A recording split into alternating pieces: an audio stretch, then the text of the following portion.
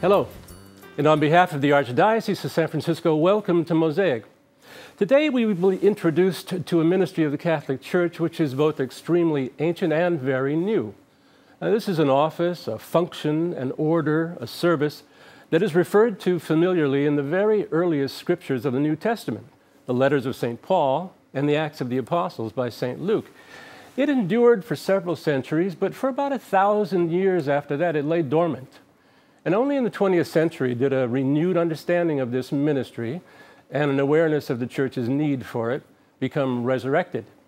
And the prescription for its refounding was given in the documents of the Second Vatican Council, particularly in Lumen Gentium. Now, in 1968, just over half a century ago, the Catholic bishops of the United States petitioned Pope Paul VI to approve their refounding of this ministry.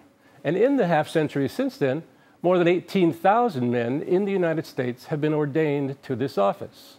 So we're talking about the office of deacon. And today our guest is one of the deacons who is ordained for the Archdiocese of San Francisco. Now, after this brief break, come back and stay with us as we learn about this ancient Catholic vocation in its new application.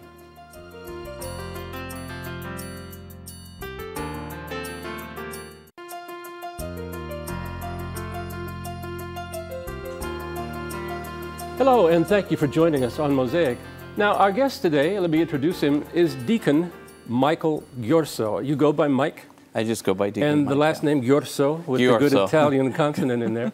Mike, um, you are a deacon in the Archdiocese of San Francisco. You're an ordained minister. I started, everything I know about the diaconate I learned from you just recently. And this idea that it's an ancient Christian vocation, I, I'm going to read from the, the, the epistle of St. Paul to the Philippians, which you turned me on to.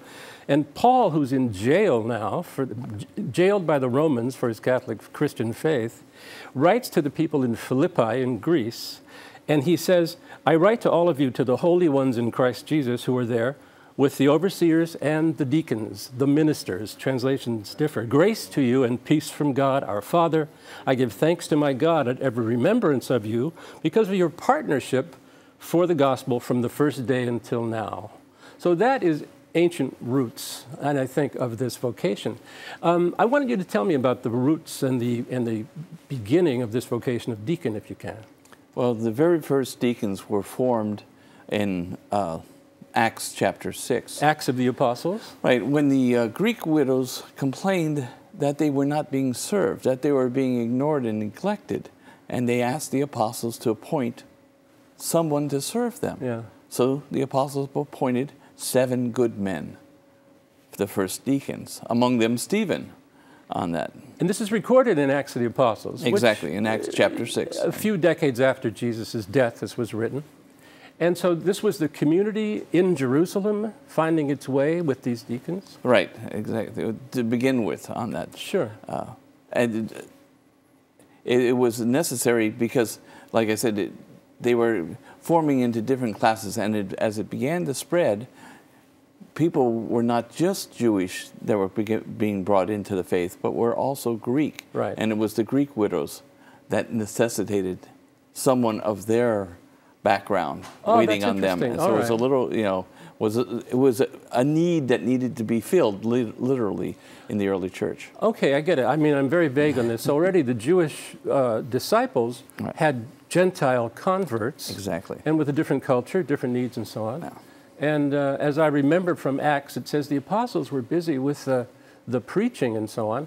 What did the deacons do? What services did Oh, they the, perform? literally to take care of them, to provide them with food, shelter, clothing, and things of that nature. But mainly to wait on them at table. When they gathered for the meal, the Lord's meal, then also they would also have a, a little meal afterwards to make sure that the widows too were served. The Greek widows were served. And um, how do I put it? In a, in a new organization or a, a thing that's not very well organized, a new movement, a new, you have, jobs somehow have to get parceled out, right? And that's part of it. And they chose, you, you mentioned the phrase from the Acts of the Apostles. What were these men described as? Diakonos, which is servant. And what was their, their uh, well- description? Able men or? good men, Good men, men. Of, uh, men of good virtue, basically, and, and so that that description is later used in Timothy to describe deacons. Yeah, so and- hopefully we measure up to today. And I think every Catholic knows about St. Stephen, but I don't personally connect him until you mention it to me with the diaconate. So tell me about Stephen. Well, Stephen uh, obviously became our first martyr on that, and that, that's we don't know a lot, but he was also doing some preaching, and he was very adamant, and it was because of his preaching that he was eventually martyred. So in Jerusalem, these deacons were at work, and they're named in the Acts of the Apostles, Right. these seven men. Do we know the histories of any of the other men for later? We know a little bit about Philip. Uh, it- that goes on to a, a story about Philip and, and uh, an Ethiopian, as well as, but that, other ones we don't know as much about as to exactly what they did or, or where they went. Now, um, we understand that the offices th- th- of, in the church became organized and distinguished over this, the early centuries, right? And there, are there three main categories of Three main clerical categories. office? Tell us about Uh, that. Well, the episcopoi, or what we would now refer to as bishops. and you have to speak Greek to get this program, but episcopos. Epis- which, yeah, which is our term, we, use as bishop. Sure. Uh, presbyteros, which is priests. Yes. And then diakonos, which is deacons or servants. All right. On that. And these were, I mean, are there any other notable deacons in our early history?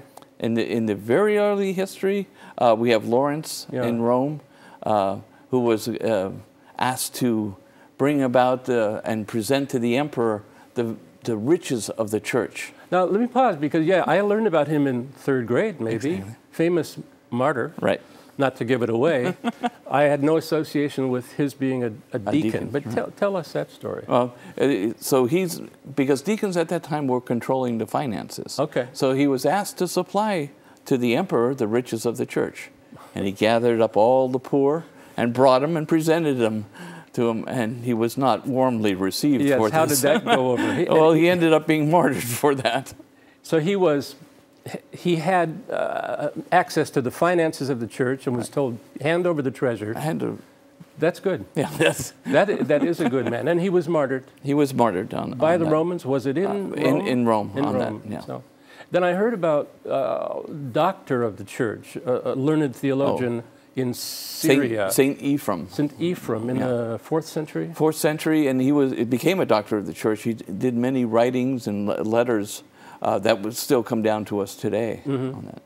So the, the office of deacon, as I understand it, um, it became part of the order of uh, advancement toward priesthood. Is that right? It became one of the orders. One of the orders. In other words, we had a, a variety of orders: Okay. porter, uh, subdeacon, deacon, and then uh, priest. Okay. On that, but th- there were also other ones also in there. So we've suppressed most of those, with the exception of lector and reader, Mm-hmm. or lector or reader, and acolyte that we use as steps to the diaconate and also steps to the priesthood. Okay, that's good to know. Now, we're going to take a brief break. We'll come back and we'll talk more about this uh, change of the diaconate from an ancient practice into a new and modern one.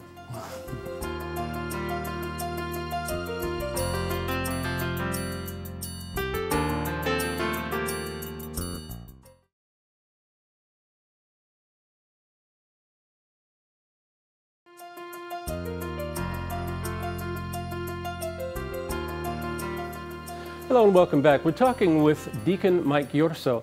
Now, Mike, let's turn to your personal situation. Well, let's let's talk about this.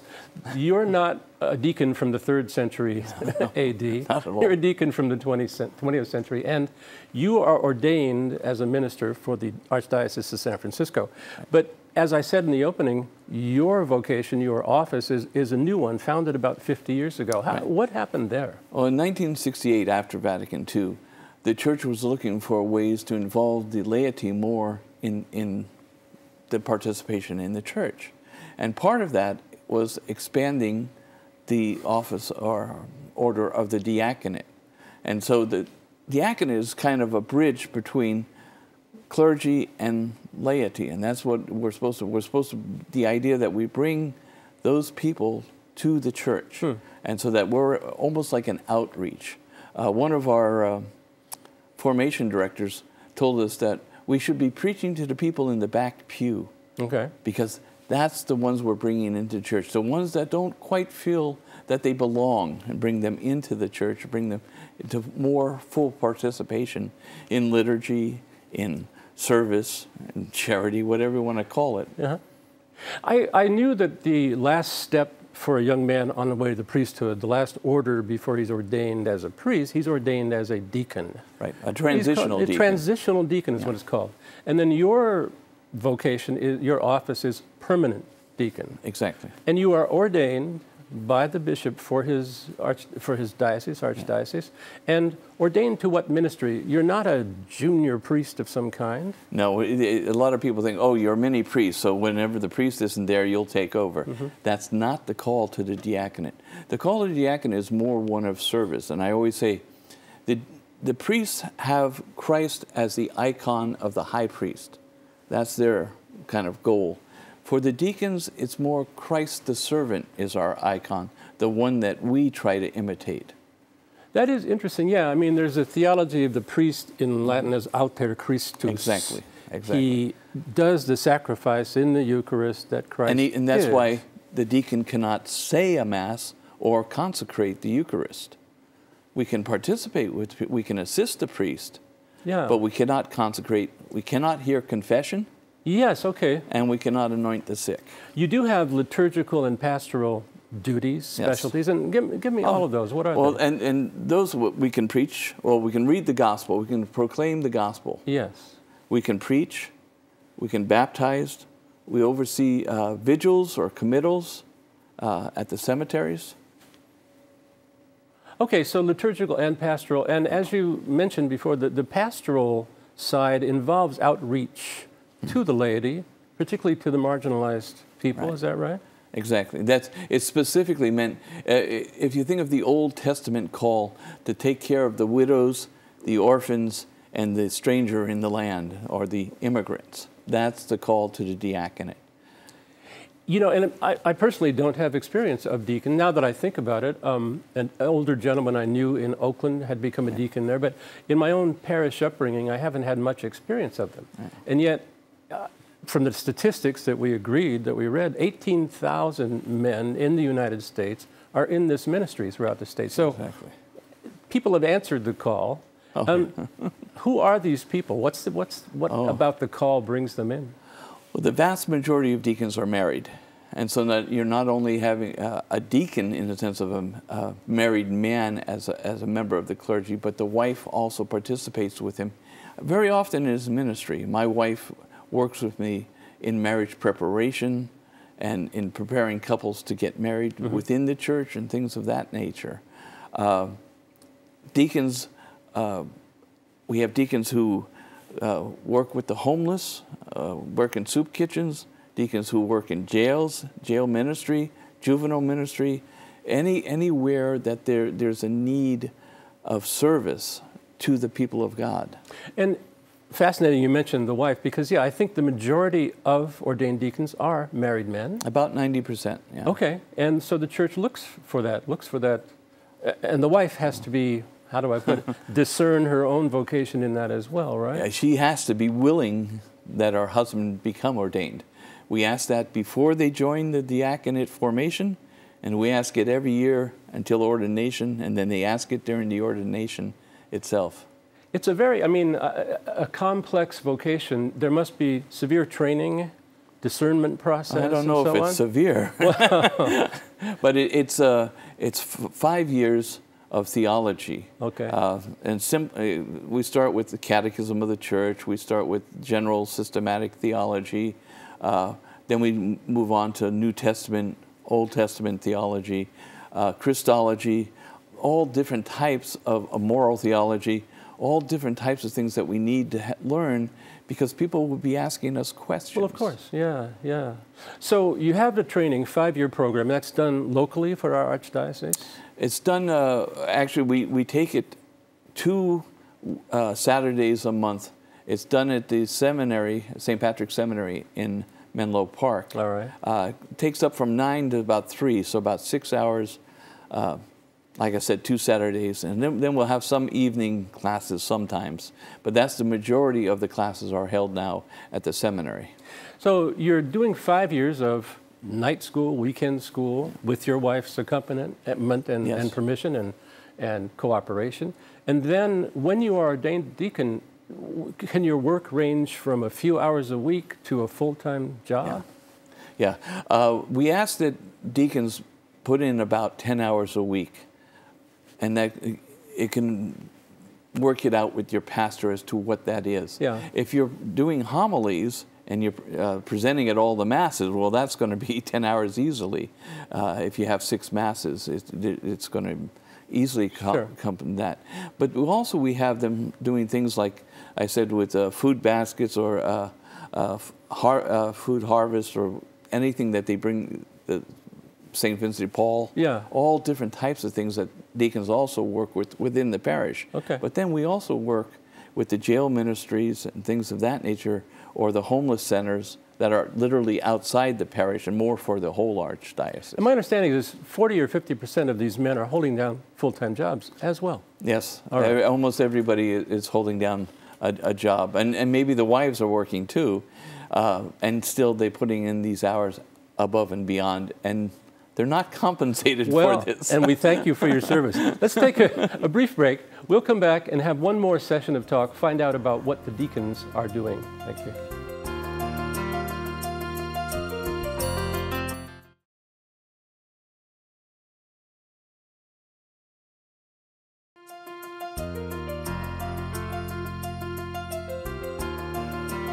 Hello and welcome back. We're having an enjoyable conversation, illuminating conversation with Deacon Mike Ghiorso. Mike, I didn't ask you for your full title at the Archdiocese where you work. Uh, Can you give I'm the director of diaconate ministry and life. Director of Diaconate Ministry and Life. And I take it that means the deacons have a ministry, but they also have a life. Right. Now, how many deacons do we have in our Archdiocese? Well, this is always a, an excellent question. Yeah. We have 110 incardinated in the Archdiocese of San Francisco. Yeah. 20 of those are actually working outside the Archdiocese. In ministry. in ministry as far away as Guatemala and the Honduras on that. Of the, the ni- remaining 90, maybe 15 are retired. Mm-hmm. So 75 active deacons for San Francisco. And they're mostly in parish work. Almost all are in parish work. Okay. Some are in uh, like jail ministry or Yeah. things of that nature that are specific. Uh, or some of them are both in parish work and uh, a, a- an archdiocesan ministry. We have about 100 parishes in the Archdiocese. We have about 100 deacons. How many would we like to have? What would be the ideal? Would you? Ideally, we, uh, we, I would like to have two deacons per parish. Okay. Uh, that way, all of it doesn't fall on one person. Yeah. And, and we could actually use two deacons uh, per parish. So we have plenty of room to grow, uh, and we also have plenty, uh, plenty of time, and we need people uh, joining up who are a little bit younger. We, we ask that they don't apply after the age of 60. Okay, that makes sense. I know that retirement age is a time when a man who's freed of his prior responsibilities looks around and says, this might be for me. So you, you have some of these people applying. We definitely But you do. want younger We would like, well. and, and but you can't be younger, say 35. Okay. You need to be ordained at 35. And I noticed that in January there were three evening meetings in different places, different counties of the Archdiocese, and the advertisement was interested in being a deacon, come to an informational meeting. Come and find out about No it. salesman will call. yeah, yeah You know? no, no, no commitment or anything of that nature, but just information. But people are able to find out readily what the diaconate is and what they, how they can find out about it from you. And you're on the website. You have- Website, okay. uh, our, the, you know, sf.org. right. Uh, we also have uh, an office at the Chancery, uh, Office of the Diaconate or Diaconate Formation. They can call either Deacon Fred Tota or Deacon Mike. Excellent. Yeah. And Deacon Mike, I, I have to say the the job seems to have agreed with you because when we first met, I thought you were. About 20 years younger than I am. I find out that that's not the case. So not the case. something's working well for you in your job. I've been very you- fortunate. Tell, tell me briefly, though, how you got into this. How did you discern this vocation? Uh, it, it was, it's a long process for me. Uh, out of the out of grammar school, I felt called to the seminary. I spent eight years in the seminary. And you're a local boy, San Francisco. San Francisco, and uh, my senior year in high school, uh, senior year in college, all of a sudden I discerned that God wasn't calling me to the priesthood. He was calling me to service within the church, but not to priesthood. Mm-hmm. So I kind of put that aside, uh, and and eventually got married, raised a family, four children. And it wasn't until oh, I guess I was about 50, 55, I began feeling a call to more, to okay. do more.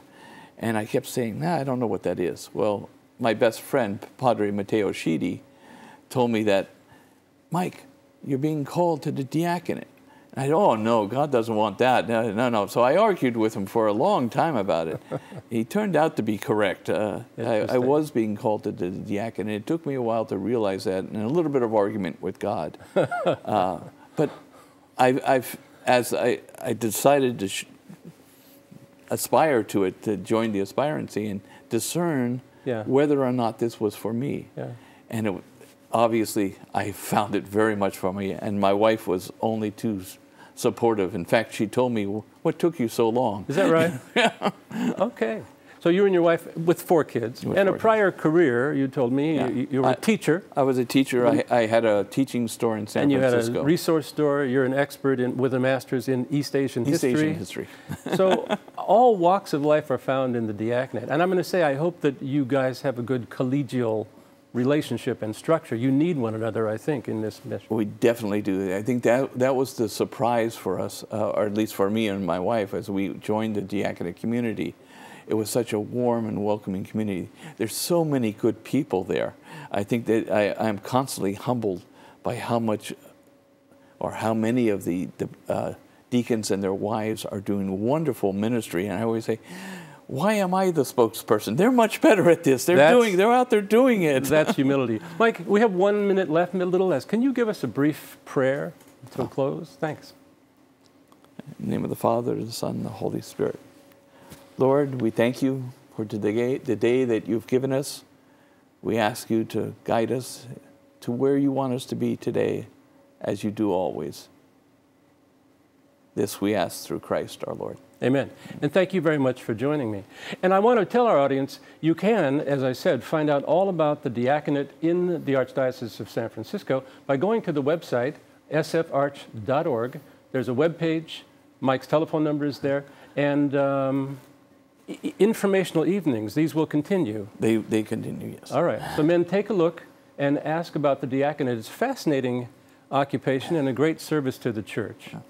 So, thank you once again for being with us and we'll see you next time on Mosaic.